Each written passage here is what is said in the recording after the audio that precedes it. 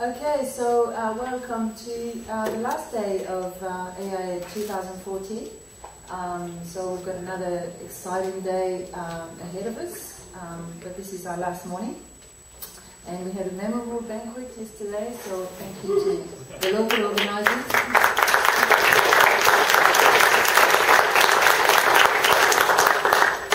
Who went beyond the call of duty actually by taking a whole bunch of people to Beale Street afterwards and organizing, like greasing the hand of one of the bus driver to take us there. So, yes. Did we drink all the beer? Um, I don't know. John, when you left, you didn't have a beer in your hand, so I guess yes. The answer is yes. um, so, uh, thank you as well for Gord. Where is Gord? Ah, hello, Gord. Thank you for the memorable uh, saga that you've uh, that you've said, and we have to have uh, the the, um, the electronic version of it so that people can make sure they didn't miss any of these uh, long events that you described. That was very funny. Okay, so um, before we get started this morning, I just want to do a couple of announcements. So uh, the Conference Navigator, the iPhone app, uh, has finally, Apple has finally uh, updated the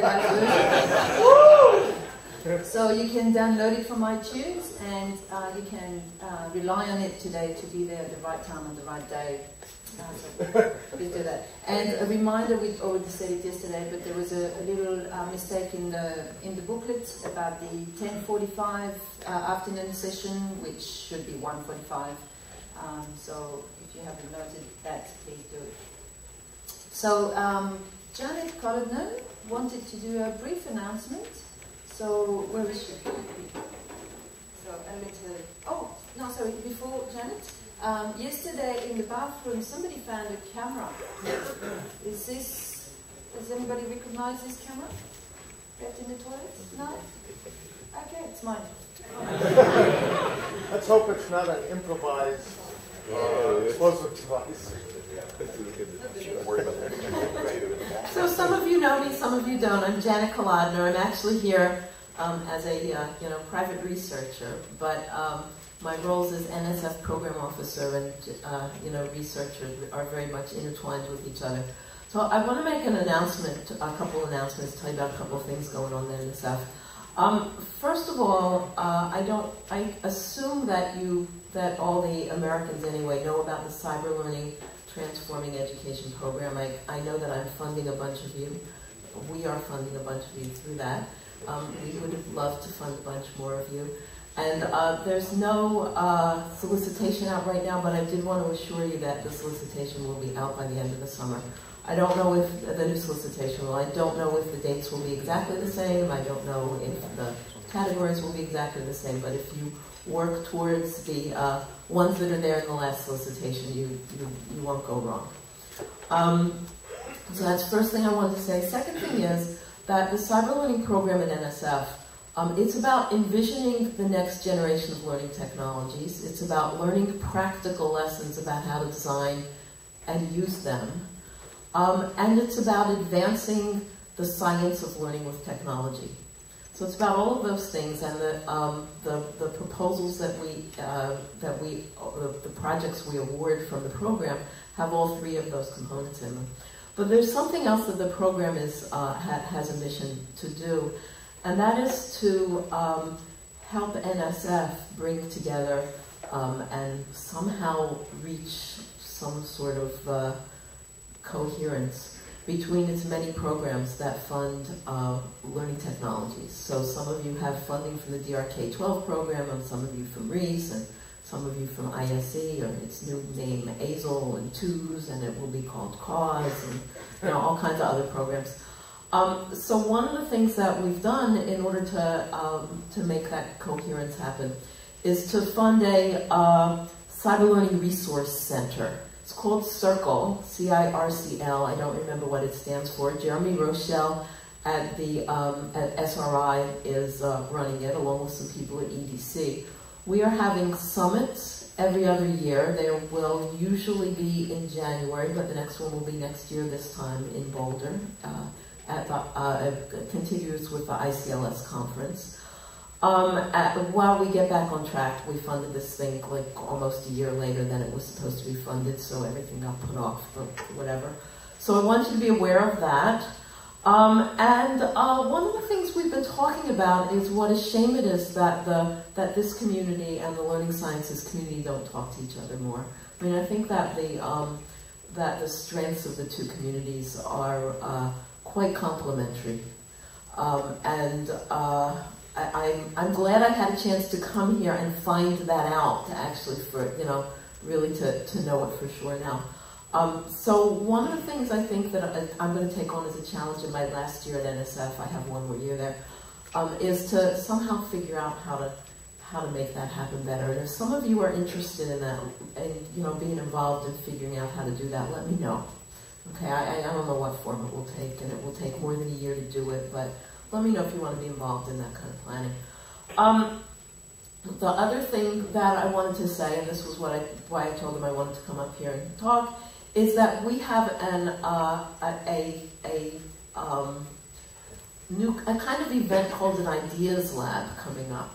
There's a solicitation out. I don't remember exactly what it's called, but something like big data in education.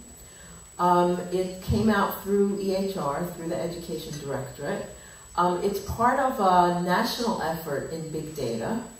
And uh, some of you know that when you talk about big data in education, there are the people on your side of things and the learning sciences side of things that are working on this really tiny micro data that's coming from games or coming from from from uh, intelligent tutoring systems or something else where the you know where you're collecting all that little data of people interacting with the machine. And they're the people who are working on like retention issues who are looking at what are the courses people have taken and um, and you know are they doing their homework? So can we be sure they're going to stay in school? How can we help them graduate? And there's very very little that's happening in the middle. So the idea here is that um, we want to make the things that need to happen in the middle happen okay? All those things that can help people. I mean some of you are talking about tracking your learning lifelong. I mean that might fit into that but the but the but the, the but this particular effort is um, primarily focused on school and uh, on helping on on the on on helping people make it through the formal system. Doesn't mean that what they're doing informally shouldn't be in, uh, included in that. It really it has to be included in that. You have to be taken into account what people are doing and learning outside of school if you're going to make school work work better. So uh, so we have the solicitation out. Um, and there will be what's called an Ideas Lab in October, October 7th to 11th.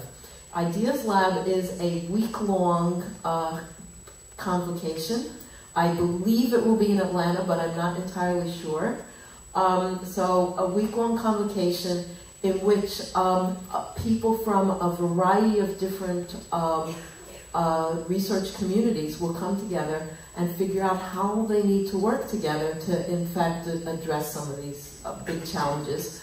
Um, the really neat thing about the way the Ideas Lab is set up is that because it's a whole week long, the people who are there will actually be um, generating research projects while there.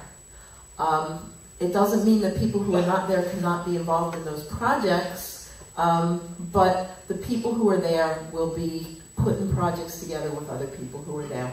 Okay, um, the, the two-page pre-proposals in order to get yourself invited to that are due sometime soon.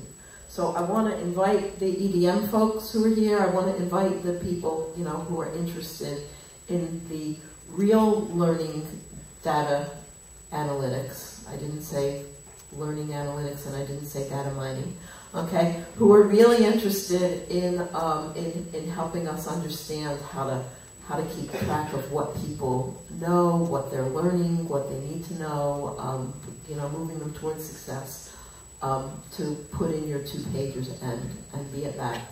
Um, there, if you read the solicitation, you'll also see you can put in proposals even if you're not at the event. But I, I just, I really, really want to invite people, urge you to apply to come to the event.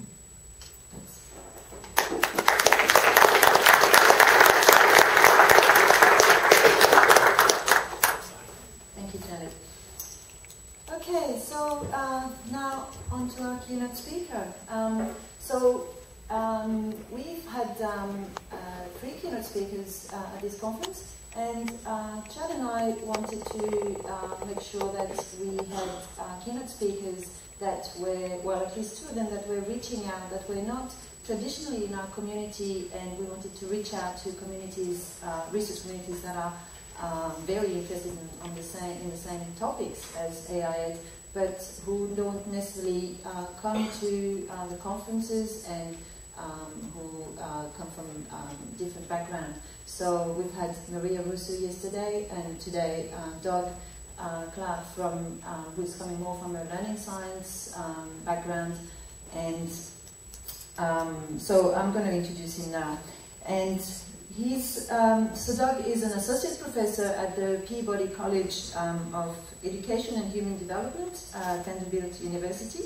His research uh, is in students' learning processes in technology-enhanced or game learning environment, and he particularly focuses on understanding uh, students' conceptual change processes, collaboration, argumentation, and use of representation in these environments.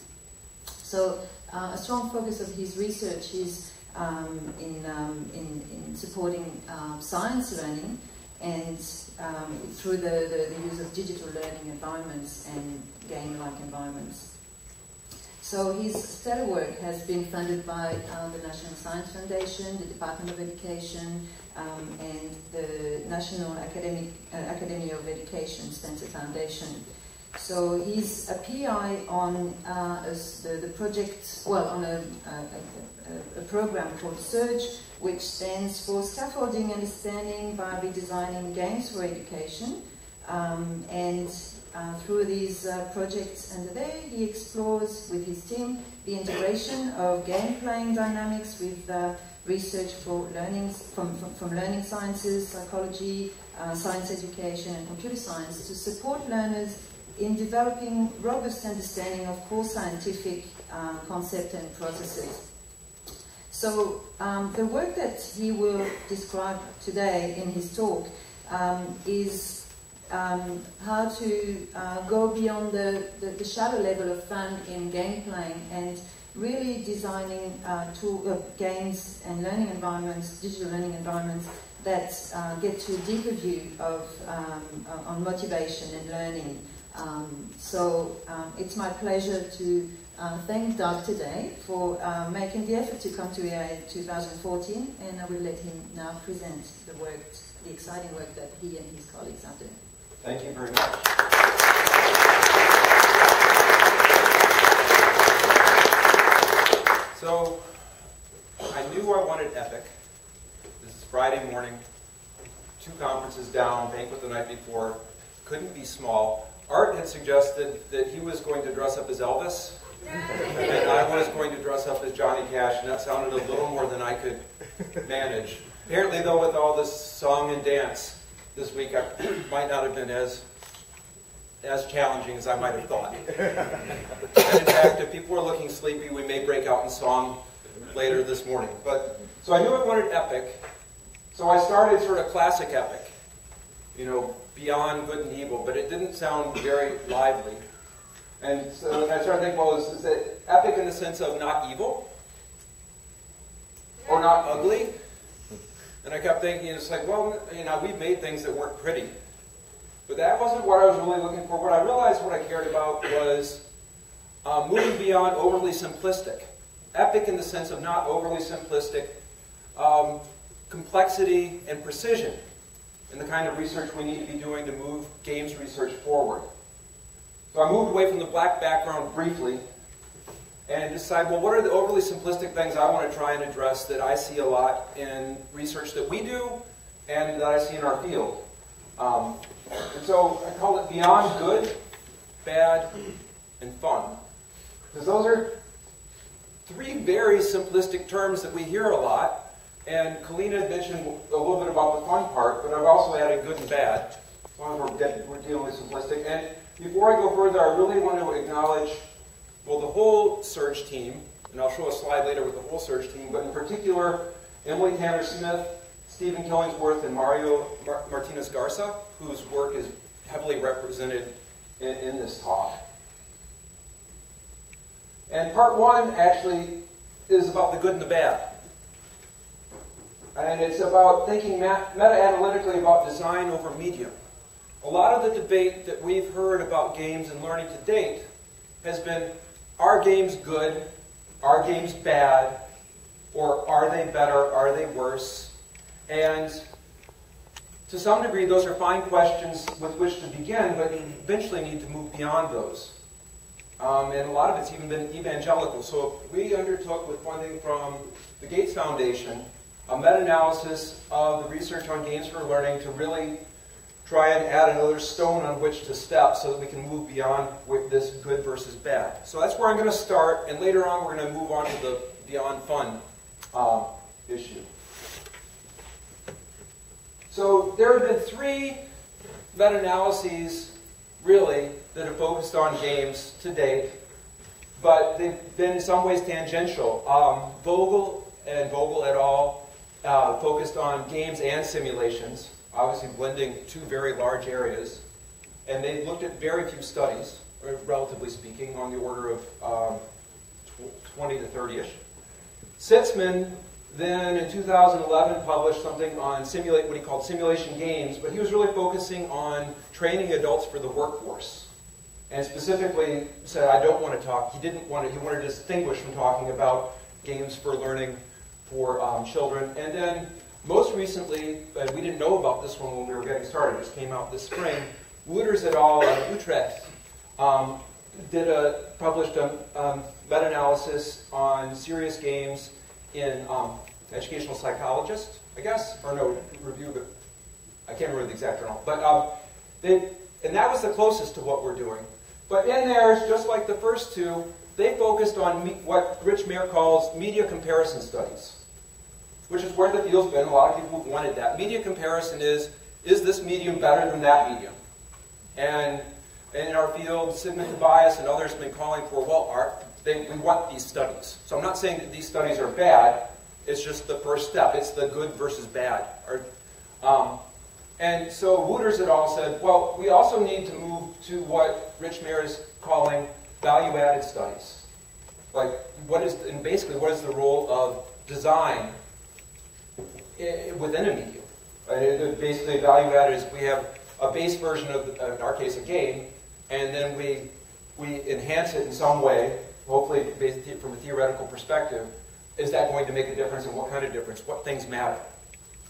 So, and luckily for us, since we didn't know that Wouters was going to call for this, we already thought this was important, so we, this is something that we did. Um, in terms of the contributions, we survey a broader scope of the literature. We apply newly developed statistical techniques. We have some experts at Vanderbilt who, in meta-analysis. Um, and we verify and extend the three prior meta-analyses in terms of media comparison, and we also move beyond media comparison to value-added studies. And then we conduct also are conducting a systematic analysis of research quality issues within it. Um, we ended up identifying over 62,000 um, articles across multiple databases, across multiple fields. Um, peer-reviewed journals, um, experimental quasi-experimental design, we didn't want to miss anything, so we were looking for just game or games in the abstract or title at the first level, and then we, we screened from there. Um, we covered multiple fields because games research happens across multiple fields. Um, but though there were, we started with a very large number of articles, ultimately only 86 reports or um, articles um, met all the criteria, of which that was based on 79 data samples or studies. So, that, but again, that's roughly twice as many that been identified in the other, so it was a step forward. Uh, we based it on the Interseas report on um, 21st century skills by Pellegrino and um, colleagues. And that, that broke down learning into three large categories cognitive, intrapersonal, interpersonal. But um, turns out most everything was in the cognitive um, and almost nothing was in the interpersonal. It's, but it's pretty, I, but, it, but again, it may be a function of the kinds of methods that we were screening for. Pre-post tests of interpersonal skills, we don't really have good measures for it, so it's not surprising that we don't have many studies, and that's a theme we'll come back to later. Um, well spread across location. This is an international conference. Um, the studies were spread across um, continents and across outcome disciplines. So it wasn't just science education.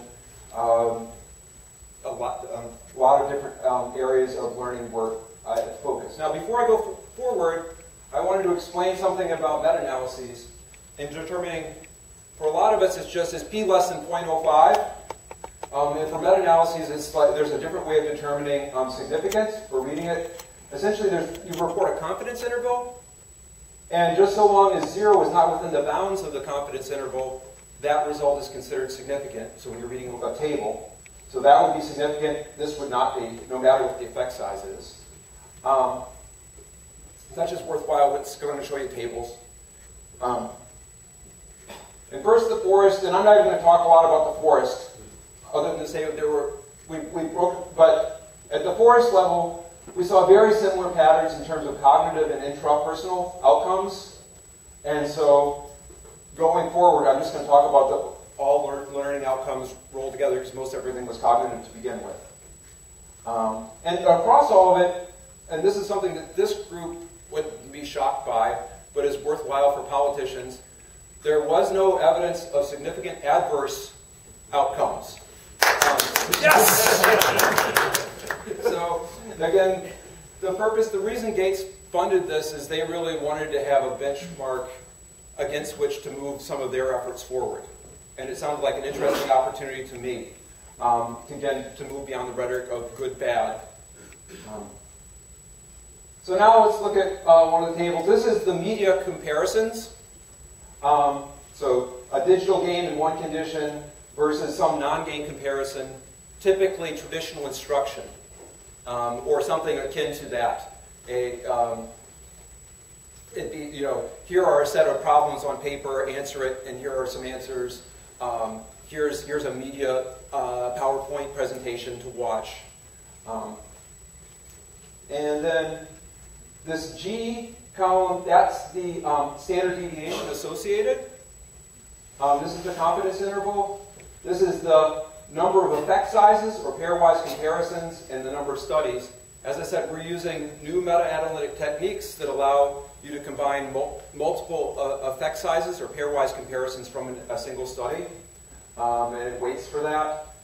And um, essentially, the bottom line is digital games can outperform traditional or typical designs for learning in non-game media. So that doesn't mean, again, moving past simplistic, that you couldn't design something in these other media that would be just as good or better. It means compared to what is normally done. This is something that's also overlooked. I was horrified. Uh, Forbes, Forbes.com quoted our study recently along with something about SRI, and it said, study shows that games lead to a 12% increase for median students compared to compared to compared compared to construction and so that was a real condensation and slightly, slight distortion of what we had said. But I'll also come to this point later. A person with whom I worked, Geneva Haertel at SRI, had talked to Bob Mislevy and asked for advice about these meta-analyses that we were doing. And Bob had said, among other things, read the entire report very carefully and make sure that there's not a single sentence that you wouldn't mind appearing all by itself, completely out of context, on the front page of the New York Times. and so I was, I mean, I, this is not, I don't do meta-analyses normally. And so this was, that Forbes.com article was a real wake-up call to me. And that was, that came out based on the preliminary report where we weren't even thinking this is final. Here's just what we were going to show Gates. Here's where we are now. We need to continue the analyses. And then here it is on Forbes.com. Um, and so, terrified. So anyway, what we do see across all of this is that games overall, there's about a third of a standard deviation um, over standard traditional instruction. Um, it, in ours, it doesn't seem to matter whether it's blended with normal instruction or not. So, for instance, is there, um, is it just the game versus some comparison condition, or is it a game plus additional construction instruction versus either a, a, another comparison condition with that additional instruction, or just lots of extra additional instruction? Um, this is different from what Wouters found, and we're, we're looking at it, but it's more similar to what uh, Sitzmann found. Game type, and I'm going to come back to this, we had originally dreamed of looking at all these very specific things. Does extra scaffolding work? Does social, do social supports make a difference? And that gets really irresponsible and dangerous, it turns out, because it's an apples and apples kind of thing. I'm going to talk more about that too. But at the most basic level, we looked at games that were just about adding points and badges um, versus more advanced designs. And it's pretty, we saw pretty similar effects across them. And then another area we tried to look at is the variety of game actions that a player engaged in, like type. Like in Tetris, you do a couple things over and over again. Um, in other games, you do a lot of different kinds of things. And here's, here's an effect that I want to come back to and talk and look at. The one place we saw less difference were in these um, large variety of action games.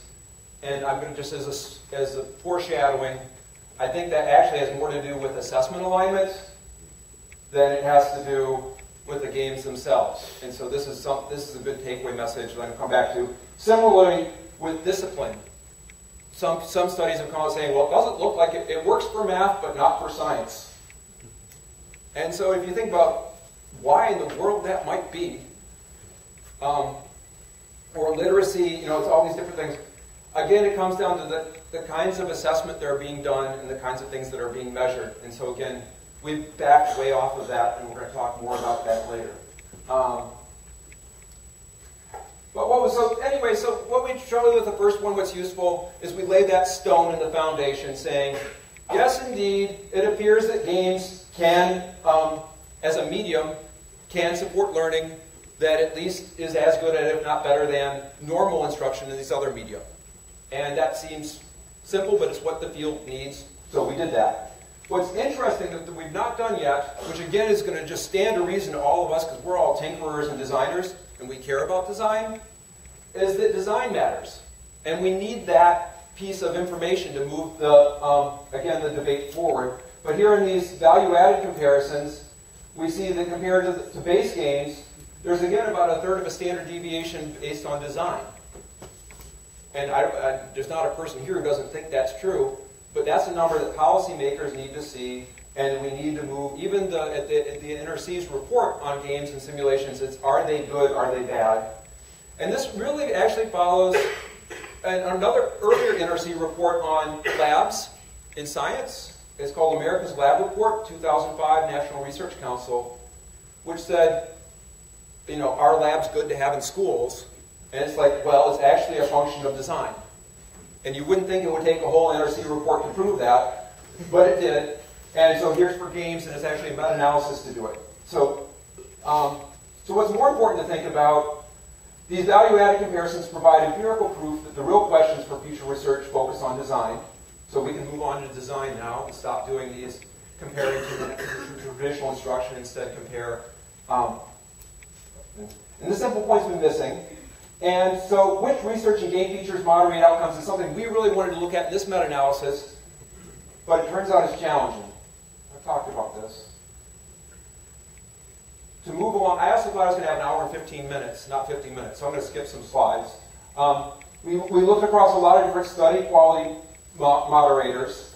And the simple level of good versus bad, they don't affect the outcomes particularly. But they are going to affect the ability to do something, well, I'll come back to it, to do some other things that we care about. Here we go. Take home. That analyses assume that you're comparing apples to apples.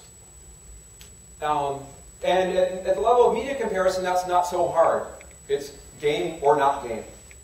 But if you want to go any further than that, you need to start um, specifying and categorizing with much greater complexity and precision. Um, and that wasn't really available in, in, in, the studies we were reviewing to date. And I'll talk about why that is. Well, the short version is almost every study either provides elaborate and lavish detail about the methods they used the, the, in, in the analyses, or they provide elaborate and lavish de- detail about what the conditions were. Almost no studies provide both. Look in, look in your journals, it's a part of it's a function of fields. Open up a psychology journal. Generally speaking, you're going to have incredible focus on um, the methods that were used. But um, in fact, for our back on the quality, the same was quality, sufficient reporting of a condition we were talking about includes 500 words or more was considered good. Um, including a screenshot was considered good. That's good. A lot of this, a lot of articles don't even provide that. They will spend 30% of their um, uh, content on describing the, the, the, statistical methods and the statistical analyses, but will not provide a single screenshot and more, more than a sentence about we used the game in one condition. So again, that might be enough for a media comparison, but it's really not enough to support comparison of features and get into the design. But on the other side, if you go into the games literature, like I, I, I straddle both worlds, and I'm guilty of all of these things on both sides. So I'm not pointing fingers. In fact, at the very end, if we have time, I want to talk about what does this all mean for us and what, what we do. Um, we can provide lavish detail and theoretical foundations for, all, for the interventions we're trying, but if we don't provide the information about the, uh, the, the, methods that we're, we're using to analyze, um, or the reliability of our assessments, I think a real, real problem in my field, we, there aren't standardized normed assessments for, all, for the different conceptual things we want to measure. So we tend to make up our own assessments. And since we tend to make up our own assessments and have a lot of other things to do, we don't tend to even do things as simple as provide like Cohen's reliability coefficients and stuff like that, that would at least be at the minimum necessary for you to decide the quality of our instruments. So I'm saying I've done both, but that's what you see across all these fields. Um, and then, so it's easy to take the comparisons out of context when you don't have that information. And so it's not even really an apples to apples. You'd think in medicine, they talk about, you'd think that would be the easy place to do meta-analyses. Um, it's like, you know, 40 milligrams of this three times a week for four weeks. Uh, and in fact, there are articles in there saying how hard it is. And depending on which factors you use to decide to include a study or not, you get entirely different um, outcomes. And in a paper, I've got a citation to a, a, wonderful study that makes just that point. So for us, in a social, in a, a social endeavor, obviously it's even more complex. So, in terms of all studies, I'm, I'm, dividing this slide into two, two categories. There's the, the, the parameters to which all studies should be held, and then there's some that depend on the study. Um, all studies should be held to sufficient condition reporting, sufficient um, comparison condition quality comparisons, getting away from strawman comparisons, which are, are very common. Um, adequate reporting of methods, and analysis, and adequate justification of the alignment of the assessments. Um, that seems simple and obvious, but it doesn't happen um, very regularly. Now, the bottom two are two that depend on the context and involve trade-offs. In terms of research design, it's arguable that an experimental design is more rigorous. The problem is that it can also in, make something completely inauthentic and, and, and not allow entire areas of research and things you want to study. So there are trade offs there, and it's more just you have to justify the choice you're making, and you also have to, if you choose a quasi uh, a quasi experimental design, to go out of your way to, to provide data so that people can decide how equivalent the conditions are. Um, that's obvious to everybody here, but it's worth saying and then assessment type. Gates really wanted us to say everyone ought to be using normed assessments, norm standardized assessments. I think before they before they came and now they've seen this, I think they they under, the point is made. The problem is that limits you to a very narrow band of things you might be studying. Um, And for, in particular, coming back to this idea of the games that have a larger variety of actions, and which generally are tied to higher level thinking, like inquiry, problem solving, creativity. There aren't a lot of standardized normed assessments for that. So we can't just say everyone needs to use the norm standard. But if you're going to make your own assessment, there's a lot of additional information you really need to provide. And we also, it also suggests that there needs to be a lot more collaboration to develop approaches to assessment. Um, for instance, well, we'll move on. I don't want to take too much time. But, so final thoughts. There's Bob Miss Mislavie. I told you about that story. And this, I saw this. This is just how I felt when I saw the Forbes article. Um, so I've talked about that. I talked about design features and apples and oranges and other apples.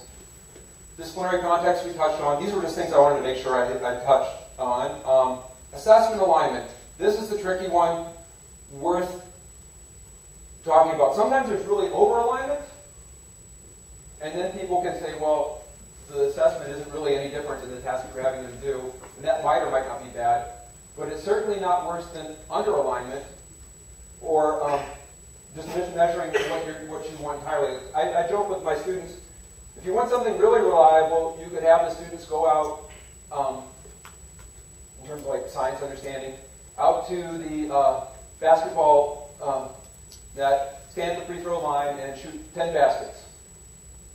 And we will be able to measure with great reliability how many baskets they are able to shoot. We won't know a whole lot about what they actually know about science, but we can tertiarily argue, well, it's something about physics. um, so again, with uh, the assessments we're building, we really need to be more, and the wonderful thing here, we have a lot of really sophisticated um, assessment people. In fact, um, Val, Val is a pioneer.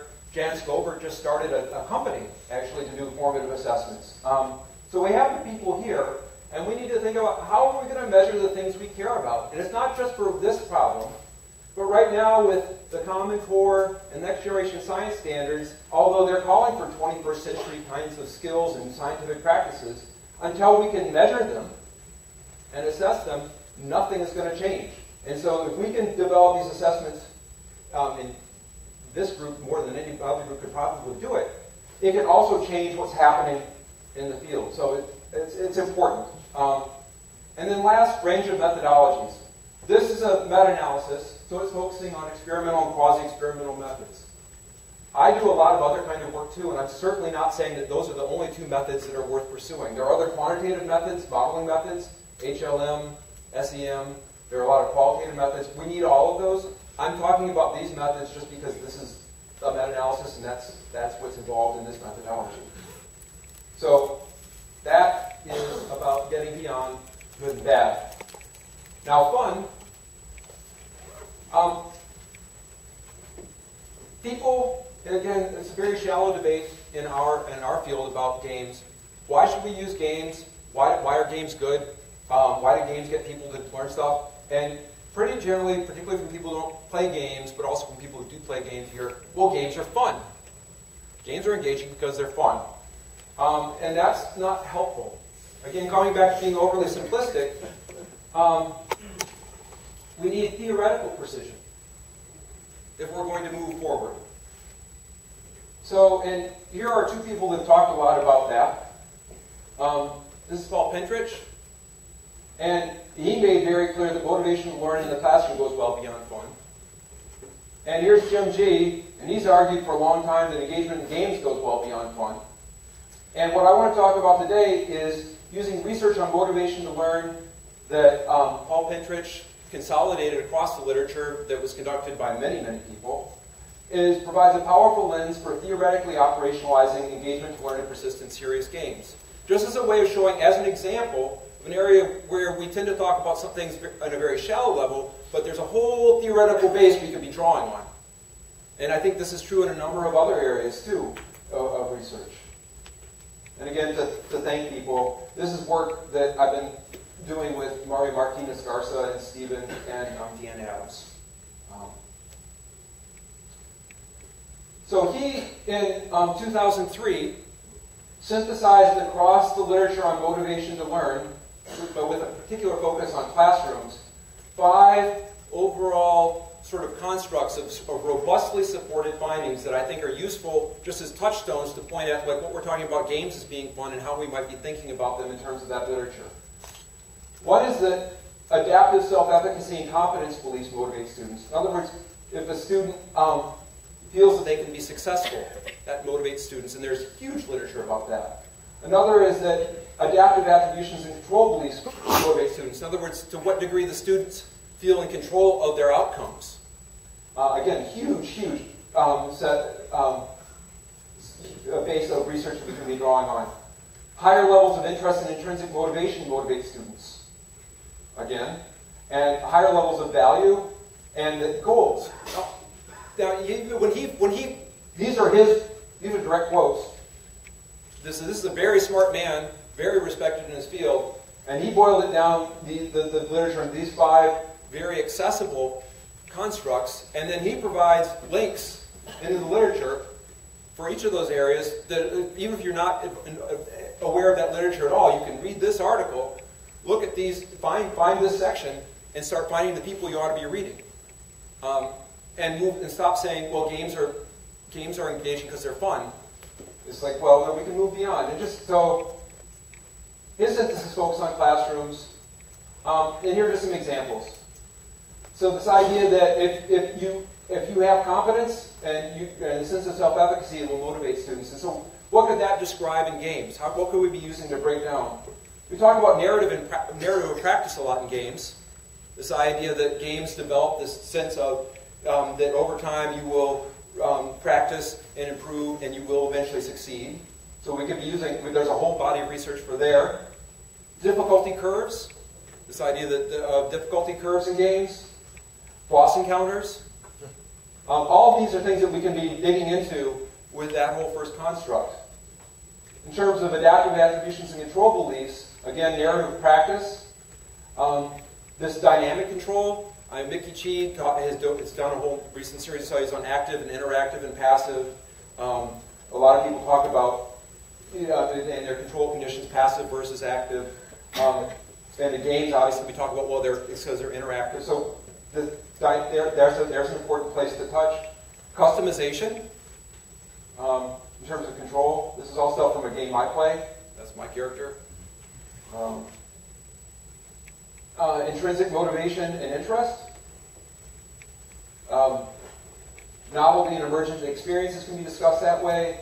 Many games, meaningful play. And value. Now this is a place where games have tended to, they tend to focus most often, the commercial ones are the, the highest frequency on um, destruction. And I like the destructive games. I play MechWarrior online a lot, lot, right now.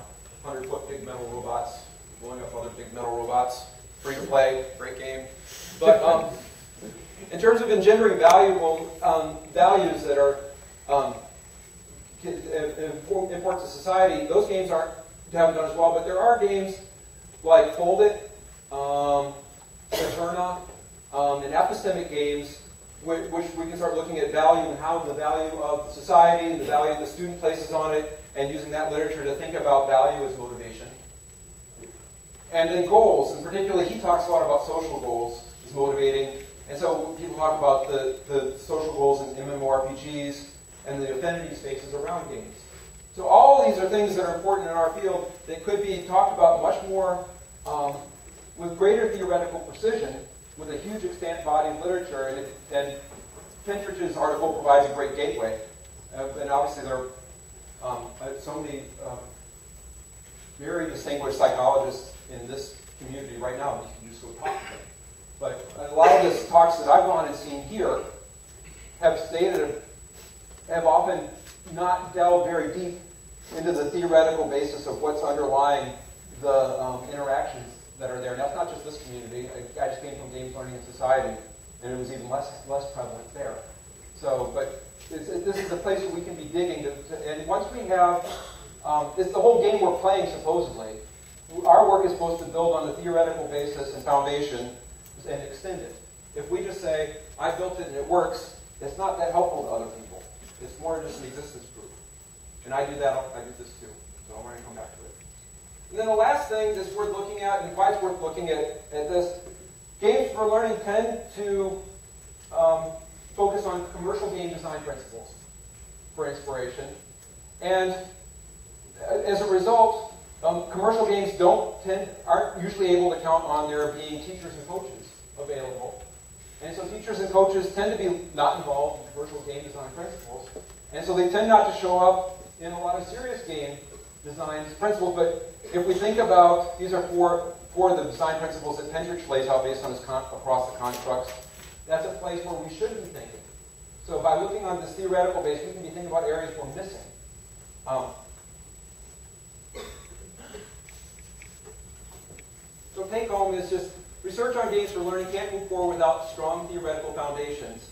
And this body of research is one that really lends itself well. And it's, it's, it's critical to the field because the field is based heavily on this idea of why games are engaging.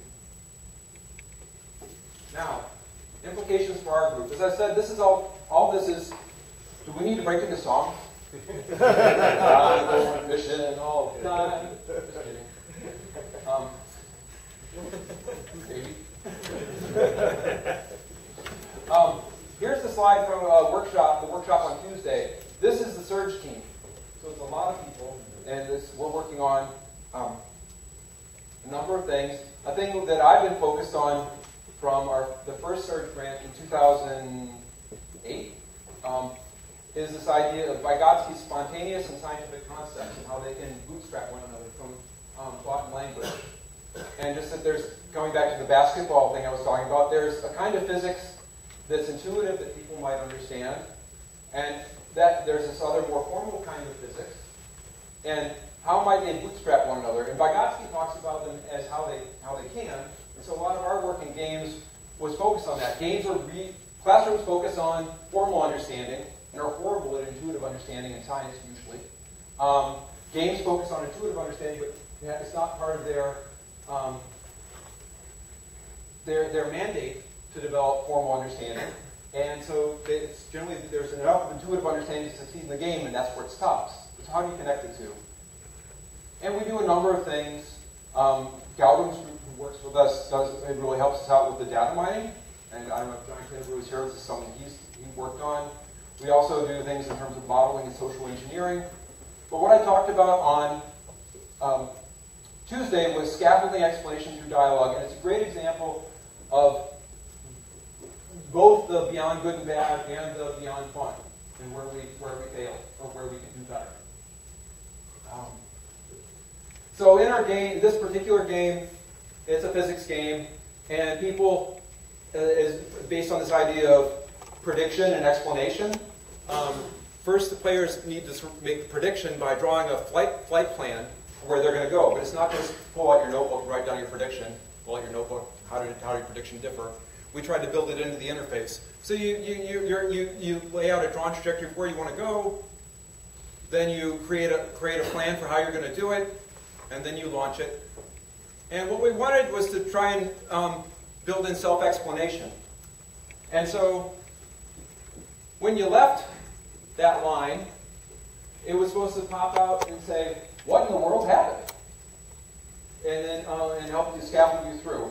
And so the first the first thing we did, I'm, I'm going to show you, was rudimentary, and it failed miserably because we ignored all the things I've told you so far today. Um, at least the pilot did. Um, and then it it'll say it, it's, it, it, it, it, it, tries to guess at what, what, why you diverged from that line and provide you uh, some questions around that.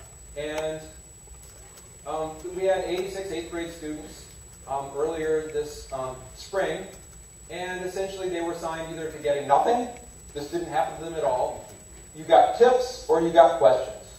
Um, and pretty much um, the questions was the worst. Certainly not the best. It wasn't. Uh, they weren't significantly different, but it was, certainly wasn't significantly better. And we were sad. And what we really saw, this is, we didn't need to run the numbers to see this. The approach was far too intrusive.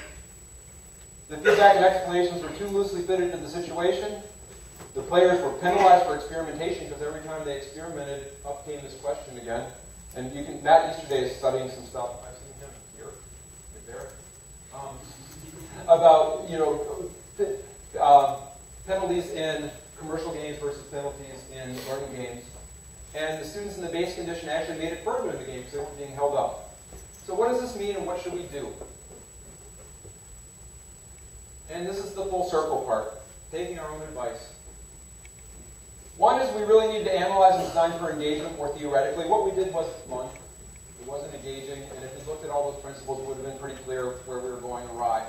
And again, some of this I'm saying we sort of we didn't think what we were doing was perfect, but it's also the balance that all of you know about of um, production and wanting to get something out, just try something versus polish. Um, and we also we need to be take, we also have worked with in terms of integrating the data mining more carefully. And so we've been and we've been already because we knew this was probably the case. Just this week we've got a redesigned inter, well interface to allow it to not rather than happen at the same time. It's more going to happen after someone has succeeded at something and after they've been scaffolded. So here I'm just going to This is a, a Flash file. We, this, our stuff's written in Flash, and this is just an automated that runs through the functionality. I just got this yesterday. So here they are. Um, they get to play, play a simple level as often as they want, and it's keeping track of how long it takes and what problems they're having. And then afterward, they say, "Oh my gosh, um, we've been watching you. What in the world? Um, how did you do it? We want to do it too." And so here are the little fuzzy creatures that um, you're working with. Here's you. And it's keeping track of you. And eventually you're going to be scaffolded. Everybody gets to the end of this. Everyone first gets a chance to succeed at the level. And then they get to go through all the, all the dialogue. And it's after, so it's not interrupting their level. And it's keeping track of their progress. And, okay, actually, we can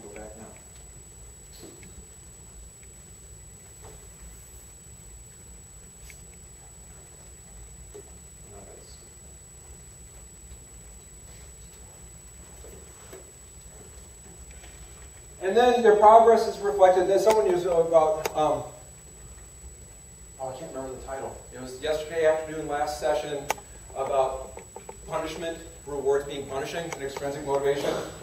Yeah, and so it's the same kind of thing. We're trying to build the rewards more intrinsically into the fabric of the game. And so your relationships with these people improve, levels are unlocking, your rank's advancing, you're getting new cool stuff. Um, so it's not just um, you got points. Um, so, so there are a lot of things that we've known we wanted to do for more than a year now, and it's just there's always this delay between planning and production. But so the first thing we were able to get out failed dramatically, but we wanted to try it anyway. But it could have been predicted just if we'd been looking at the literature I've been talking about. Um, but now completely full circle back to the first half. And this is the problem we came to, against when we were trying to um, decide in our meta-analysis about which features um, were effective.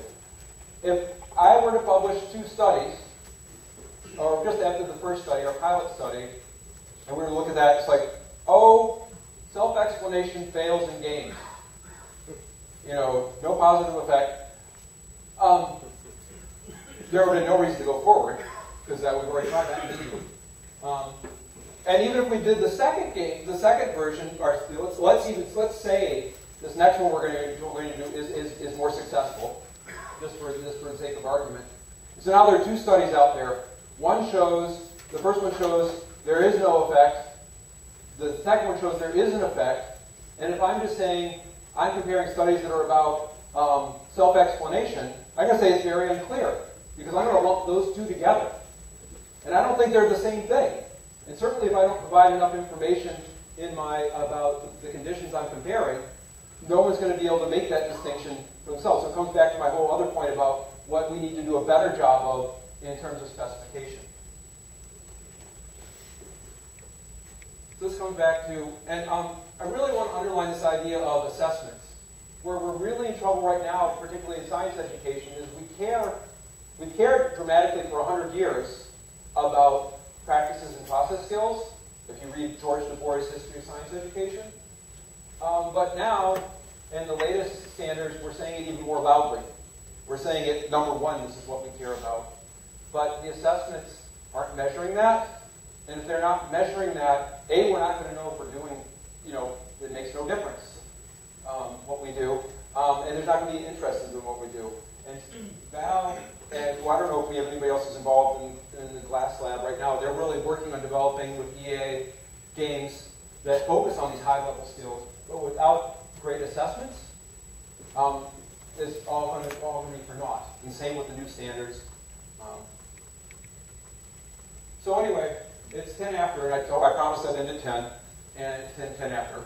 And so, beyond good, bad, and fun, moving games research forward. Um, thank you. Thank you very much.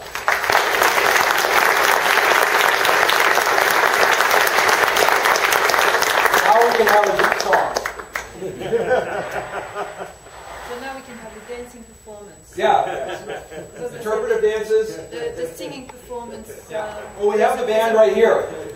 I think we have, we've got a couple more minutes for them to come on out. Okay, so the microphone won't work while you have that. I can so, turn this off. Um, well, I don't know. Then they can use that. Or people can just ask their. Yeah. All right. That won't work while I have that this. works Yeah, now. that's where that works. Okay. Because I just turned this one off. So, okay, so we've got uh, time for two questions. Uh, Uh, great talk, thank you. Um, it's lots of thoughts, but, but one is that um, you're calling for sort of a more theoretically founded um, approach to designing games, and you're proposing that we should, that a foundation should be found in the literature on motivation, which indeed is, is very rich. But, but in, in my, as I've looked at that literature, um, although uh, incredible amo- amount is known about what motivates students. It, it often that literature often doesn't get you to the point of that it actually helps you in design because uh, the recommendations are often not very specific. So, so another uh, view on your idea might be that we can actually use games to um, flesh out that literature in a way that it, that brings us closer to the to the things we, to the details we need to think about as we're actually designing. I agree 100%. Uh, a different version of this talk might have been what can we learn about motivation from games, you know, in terms of the, the different principles. I also think we'll take a step back further.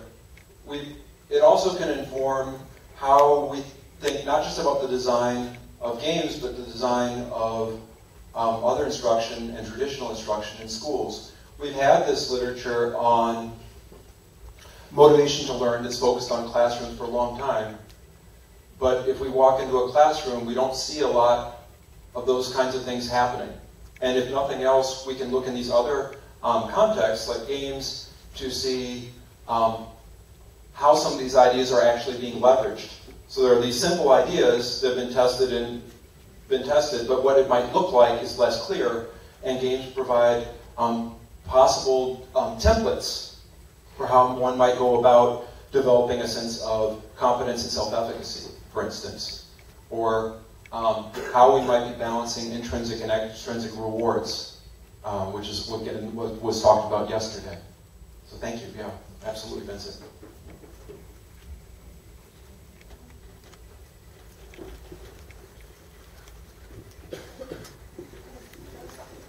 Okay, people who want to ask questions, go and sit in the same corner there. So, uh, Heather, I have a follow-up question to that. Um, I, I would like you to give us three very short examples, right, of some things that you've designed and how you used some of that literature in order to do it. So get real concrete for us.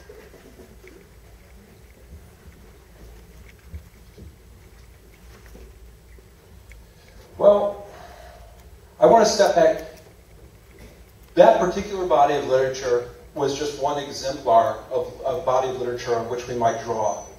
First, I'd like to talk about um, the literature on self-explanation and how we've been thinking about that. Um, and then also in the science education world, there's a somewhat related body of research um, called Predict, Observe, Explain, um, which follows on a lot of the same ideas. And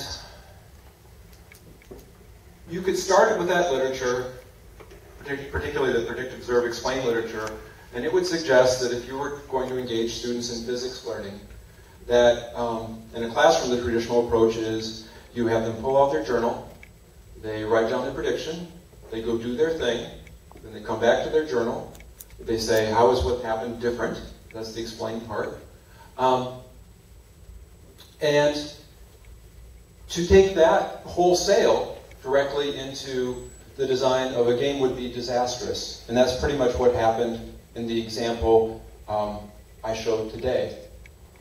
It was, it took the person out of the game, it was not part of the game, and it destroyed the game.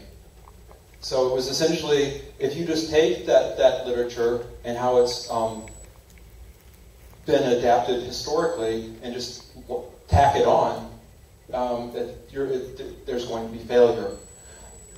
So what we tried to do in terms of the prediction uh, was to think, well, what would it, what would be prediction look like in the context of a game where it would be part of the game? And that's where we came up with the, the, the flight plan where people are drawing their flight plan and they're doing it to convince their their, their crew the, the, of you know so the crew can prepare and the crew is ready and the crew um, has a sense of what what to try and do. And then it and then in terms of the self-explanation what we wanted this is what we thought would be great rather than stop and go right to some third person. Because in the game everything has to have has to there has to be a feedback loop. And if you go off to the journal that's outside of the game, there's not going to be that feedback loop. So we thought, well, how about then if the crew gets restless and says, we're not going further, we can't stay on, stay on, uh, stay on target, how are we going to stay on target? Or, in this case of what we're doing now, um, to provide a reason within the game that you might want to explain. Not just because you're being forced to, but that you might want to. Is this idea of a lot of the literature that's been written both on girls and boys and what people, the, the, the context people like. Turns out people really resonate with rescue metaphors in games. And so what we thought was, after SURGE had successfully um, rescued some of these fuzzies, creatures, the, then when it comes in, the other fuzzies are saying, wow, thanks for saving our friends. We really want to do that too, but we're stuck. You know, how do we do this? to sort of create a context within the game where this explanation is more natural. Yeah. Um, and so that's where we're going, and we'll tell you how that. is what we wanted to do for a long time, but building the, building the technology to do it has been a little more difficult, but that's what we'll be trying out this fall. So I guess that's prediction, explanation, and to some degree, um, goals and motivation, how we're trying to tap into those things. So can I pass to somebody else besides you, Vincent? Since you I'll take one. Okay. And it's also, it's, it's ten fifteen, so I, I, this is maybe the last question, I think. Okay, well, you're sharing this. Oh, I'm chair, okay, well, I was told, I was told ten fifteen, so why don't we do one more? Okay, just one other one. So first of all, um, I commend you for uh, airing your dirty laundry, if you will, for uh, presenting a, uh, a game that failed, explaining why. And I've got my own dirty laundry. I think we all do who've been involved in this. And as you're talking and reflecting, well, so what are, how do we get into this problem? I think a lot of this is about this problem of having good intentions and yet producing a game which doesn't uh, hit the mark. And I think this just follows up on what, what Vincent was, was saying, is often we're guided by the literature at sort of broad concepts that aren't really specific enough to, to provide good design guidance. Yeah. And a couple of examples uh, being a matter of, of extrinsic motivators such as badges. We know they can be good, can be bad. Well, what, what are the good ones? How to define them? And another one is narrative. You know, generally narrative arc is good, but some narrative arcs can actually promote learning, and some can actually um, sort of not give you enough opportunity to perform time on task because you can't replay. So I guess what I'm proposing, if you agree, is really as a, as a, as a community, we need to come up with a better, more precise set of terms for the design concepts we're appealing, which are grounded, which we can relate back to the motivational literature, but have a clearer definition so that we can then actually um, compare and contrast and understand how to make progress. That would be absolutely fabulous, and it would come back also to the meta-analysis problem of what things are apples and what, what kind of apples. Um, so I agree entirely. And then another thing that you were talking about in terms of grounding it in specific literature is what Vincent was talking about. I held up the motivation to learn literature as just one literature. The, the literature on cognitive load um, is obviously highly relevant. Self-explanation in our case is highly relevant. Um, it- um, worked examples. I mean, the list, there is so much literature on which we can draw. And I just chose one that was seemed particularly salient to, a, to a, um, an oversimplification of the games research. Games are motivating because they're fun. Um, but it applies across. The question would be, how can the world, can we get everyone to agree to use the terms? Um, and even within this one field, within the, the say we could even get AIED to um, put together a working group and create our document of definitions. Um, in games research, it happens not just in the social sciences, it's in the natural sciences, it's in medicine. That's where our search was. We looked across all the, so the, I don't know who's got the clout to say this, these are the definitions we can use. Maybe Rich Mayer does. I hope so. We should talk to him. The multimedia principles extended. I think we need I think it that. would be James Gee. probably.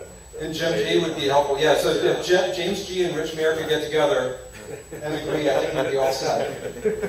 Anyway, thank you all very much. No more songs.